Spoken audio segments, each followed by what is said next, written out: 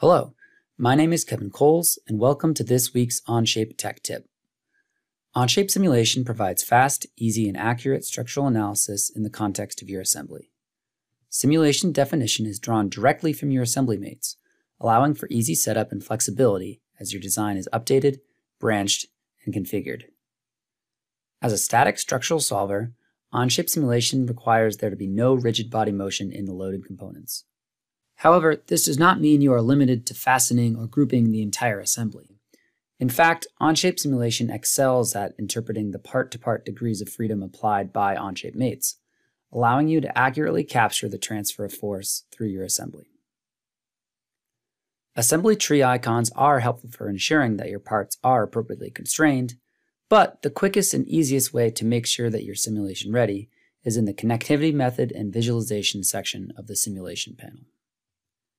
Here, in the simulation settings, Onshape offers three methods for assessing and visualizing the connections in your assembly.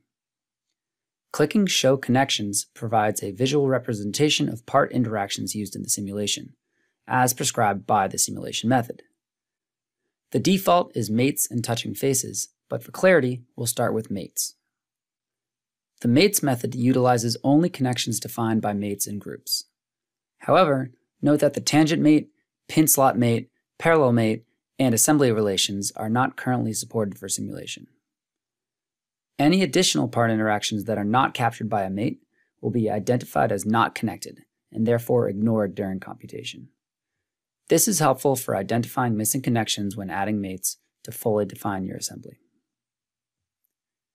In most situations, those missing connections can be solved with one click with the mates and touching faces method. This default method takes each region determined as not connected and categorizes them as simulation bonded, which is treated identically to a fasten mate or group by the solver.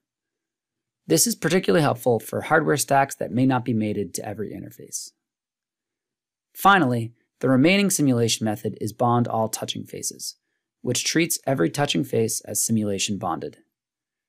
This provides a quick look at how your assembly performs if it was fully fused. The connectivity method and visualization controls in the simulation settings are crucial for getting you easy and accurate structural results, providing you the benefits of simulation early and often in the product development process. Thanks for watching. Stay tuned for more Onshape tech tips.